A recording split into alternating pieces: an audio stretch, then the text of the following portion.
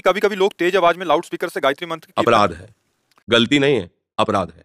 पंचाक्षरी मंत्र गायत्री मंत्र द्वादशाक्षर मंत्र ये तभी तो बुद्धि भ्रष्ट हो जाती है। तभी तो उसका लाभ नहीं मिलता।